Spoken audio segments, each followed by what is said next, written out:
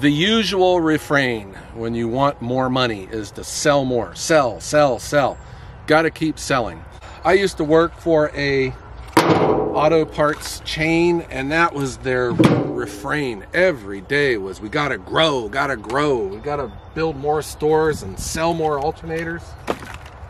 And no one really ever stopped to take time to ask what for? Why do you got to keep growing? And certainly when you're self-employed, you want your business to grow. You got to make more money. You got expenses that come up.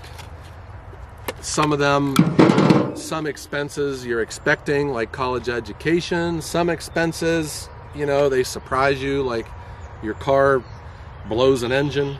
And when I was first envisioning Ohio Woodburner, I just knew that I was not going to be able to have a volume business. I can't sell thousands of cords because, you know, it's just me. I don't have the equipment, the space, and then I've learned, you know, I don't have the supply either. Uh, so I had to do things small. I had to figure out a way to sell firewood and um, sell it at a high margin and that has been my goal. So, of course, though, I think I'm executing this game plan pretty good. But you know what? If I want more money, what are my options? you know, you got to sell more. You got to sell more. Well, did anyone ever stop and ask the question, what if I can't? Or what if I don't want to? You know, I uh, I just know that this last year I had, I did pretty good. And uh, I can't tell you my exact cords that I sold because I just don't keep track of these kind of things. I know that I was around 150 cords and uh, I had fun doing it, but can I sell more than 150 cords? I think I can, but do I want to? I don't know you know, because I kept busy and I kept as busy as I wanted to be. I think if you look at any entrepreneur, they have motivation behind them. You know, they want to uh, they want to put their time in, and I do. But I think you know, here's the trade-off. If I were in my 20s, I would probably be much more hungry, much more energetic, but I would have much less skills and knowledge. And then in your 50s, you know, you got a lot of skills and knowledge, but maybe, and I'm just speaking for me, you know, I think I could probably be more of a hard charger. But I think it's probably because I don't want to. I'm happy with what I'm doing. I'm satisfied with what I'm doing. And I am able to make ends meet, you know, with this business model. But there is still the call. I need to sell more. I need to make some more money and I I think I can do it, but do I want to do it by selling more firewood? I just don't know if selling more is for me. It just seems to me that is there a way I can make more money by selling less firewood? And that's kind of like the foundation of Ohio Woodburner you know, I didn't say I'm going to be this big firewood company and I'm going to sell all these massive quantities of cords. I never did say that. I'm selling small quantities, small volume, uh, high margin. If I want to attack this problem from that same spirit that I formed Ohio Woodburner, I don't think my answer is growing and getting bigger and bigger trucks and stuff. I think there is a way to make even more money by selling less firewood. Sounds interesting? Are you interested? Follow me and I'll explain.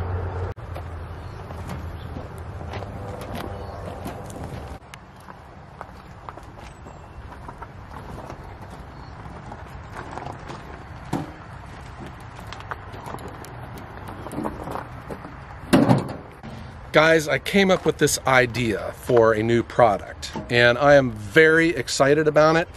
And I'm going to show you exactly what I have done and how we're going to be uh, putting all this together as a, as a package.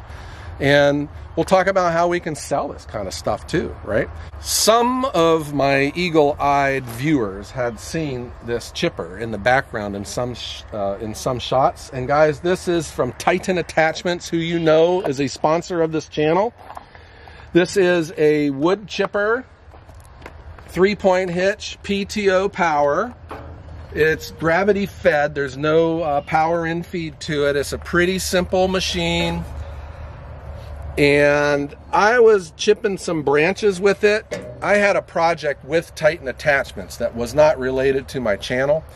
But when I saw all the chips coming out from the branches, that's where my rusty gears in my head started turning because what I was looking at was the exact same kind of wood chips that you find for barbecue, you know, that are sold at your hardware stores in the barbecue sections. And I thought, is there a way that I can chip firewood and sell it uh, packaged as a barbecue chip? So I've come up with this idea. I have already been selling some of these to some restaurants that I deliver to and to one of my existing customers that I sell bundled firewood to. But I think maybe I'm on to something. I'm not in a perfect situation yet. I have not perfected the, the process. Maybe you guys got some ideas. You can share them with me. But let me show you what I got going on. With the Titan Attachments wood chipper, I know I can make wood chips. So how can we package them? I found a bulk vendor and I'm gonna put links to everything down below for Ziploc bags. This is a heavier gauge bag. And because we're gonna be putting wood inside of them, I think they need to have holes poked in them. So I just poke holes in the bag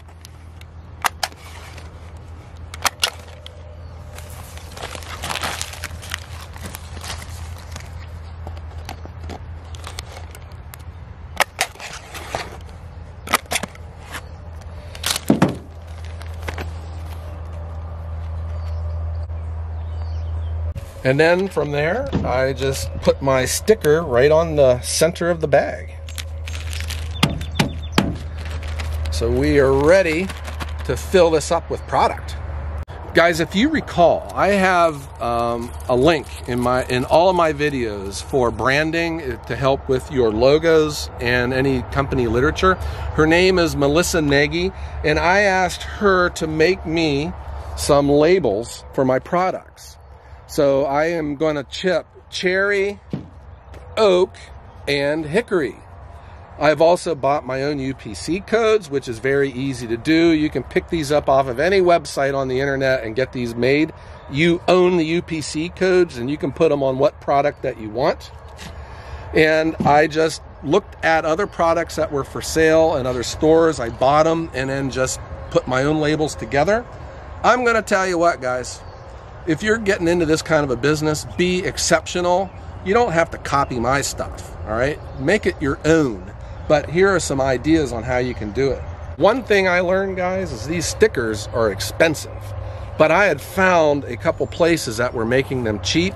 And this was the first place that I found. And they printed them on this roll because these are made for when the bags are labeled by a machine. Um, so, but I still got these pretty cheap. I'll put that link below. But then I found a local printer who printed these up for me.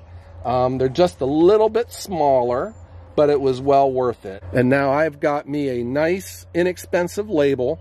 And my estimates are these labels are costing me 16 cents each, and the bags cost me 10 cents each. So that means I have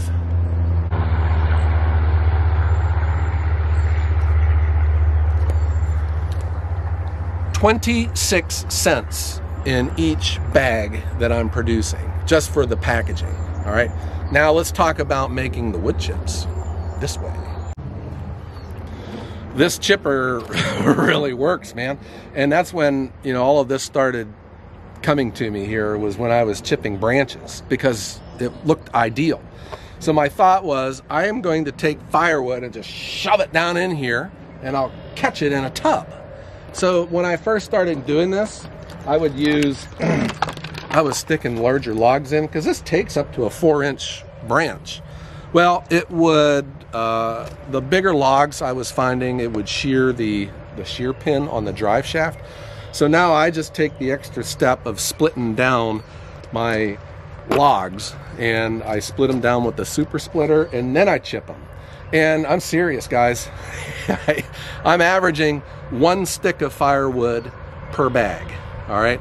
So think about what we can possibly sell these for and how much money is going into that bag with product. All right. One stick of firewood. How much is one stick of firewood worth to you?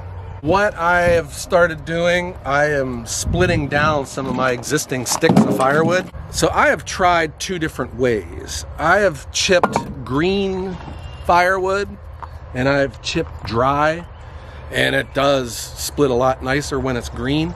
But you know those chips need to be dry before they go into a plastic bag. Well I have an answer for that too with part of my process. But let's go ahead and split some of these down guys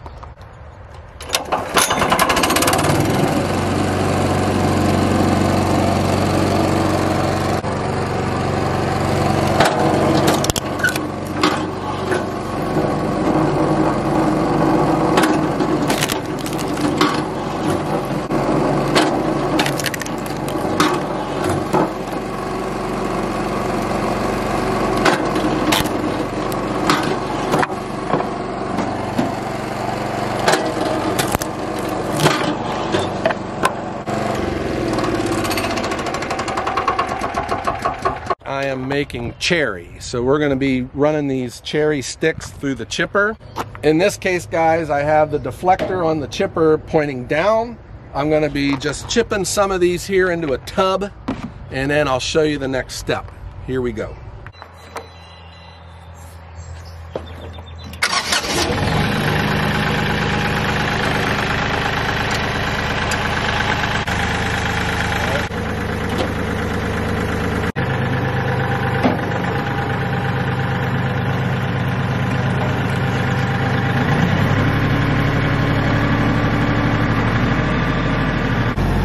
So I have my PTO on, the chipper, and I'm ready to start beating it. One thing I have learned is it is loud, man. So I got my safety glasses, my hearing protection, and let's see this thing work.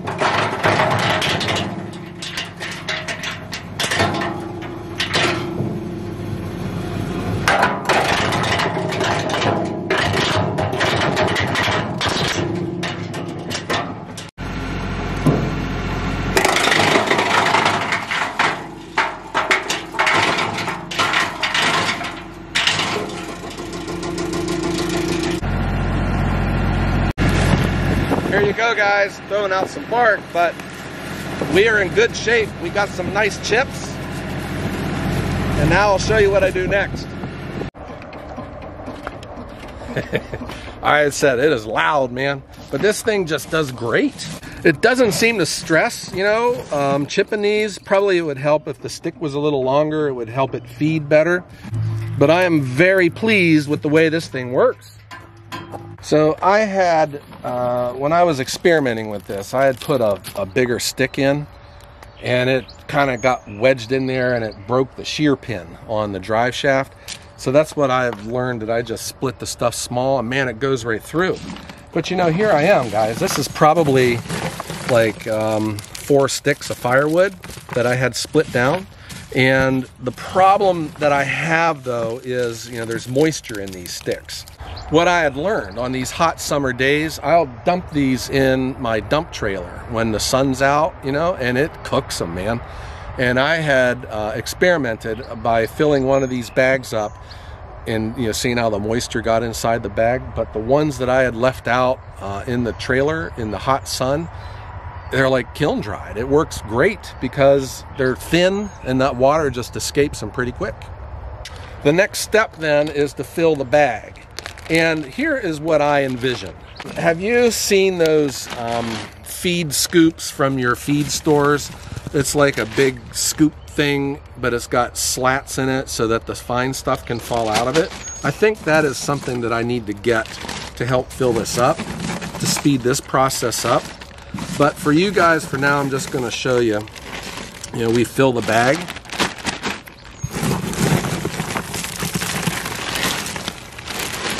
What I would be doing is that these chips would sit out in the sun for a couple days before I fill the bags up. And if I'm making multiple species, I would just have different areas in that trailer for the stuff to go into. You just, I just put it in there and spread it thin and they seem to cook out pretty nice.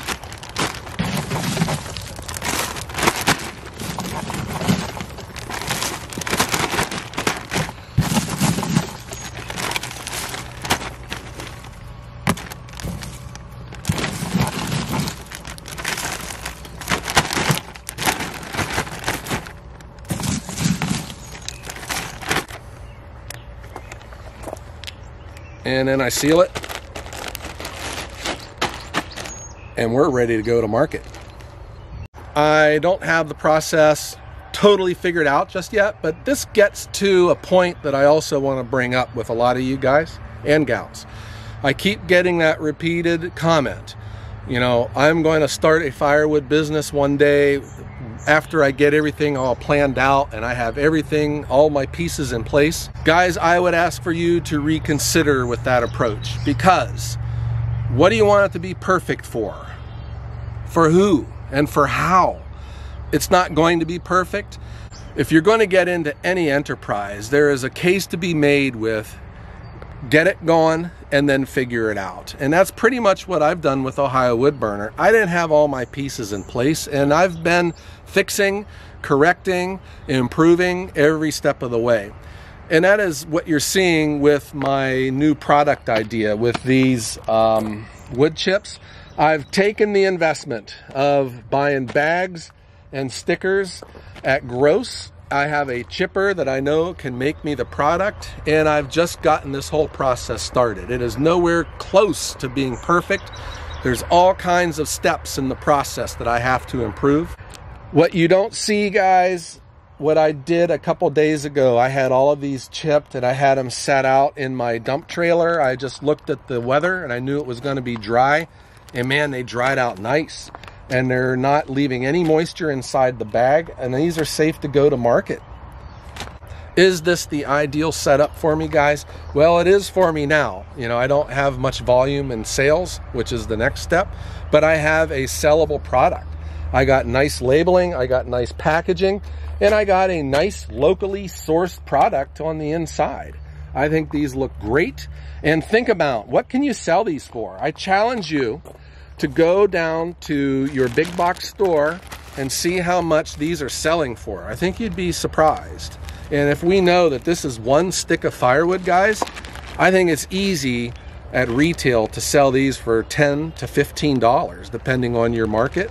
And I would also expect, you know, wholesale, if I'm selling these to a retailer, to be somewhere around 8 to $10 each. That's my target. And it's going to be my target until I know I can get more for it.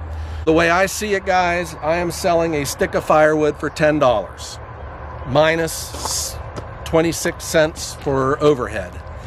Um, yes, you got a tractor, you got a chipper, but if you're selling these things, guys, and if you can get multiple accounts, you'll get your money back quick. This is a business model in and of itself where I know you, especially if you had a kiln, uh, to get these USDA certified, and these could be sold retail everywhere in the country. What do these mean to me? So I still enjoy making firewood, selling bulk, selling to restaurants. This is in the same category to me as selling bundled firewood. So you got to put a little bit more extra effort into it, but you are also moving less wood and you're increasing your price per cord. Holy cow, I am selling a stick of firewood for $10. So let's, how many sticks are in a cord? That is how I looked at this. I see this as a way to augment sales. This is a different product mix for me. It gives me more versatility in my market and it's getting my brand out there uh, as well. So I have now uh, bulk sales, restaurant sales. I have bundled firewood, and now I got barbecue chips. The last thing, guys, we must address the three most important things about firewood, and those are sales, sales, and sales. We can make the prettiest product in the world, but if we have no sales, what do we have? I need to find a way to get these sold. And I already have my idea of leveraging the restaurants that I'm delivering because I know some of my restaurants use these for some of their recipes. I'm also going to be approaching my current customers that I sell bundled firewood to. I have some grocery stores, drive-throughs that have displays for uh, barbecue. I see that as well. And I'm also going to go to these locally owned grocery stores, locally owned hardware stores, outdoor stores, because wherever there is a display that has matches, starter fluid, charcoal, barbecue grills, why not sell a locally sourced product next to it? And people would pay a premium for this. That's the way I see it. And there you go, guys. A new way of making money selling firewood.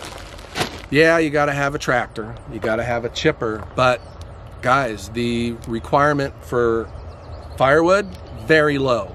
And these hardly take up the same amount of space as bundled firewood. Much easier to move, much higher margin, and uh, this is a business model in and of itself. I really hope that you guys are seeing what I'm seeing.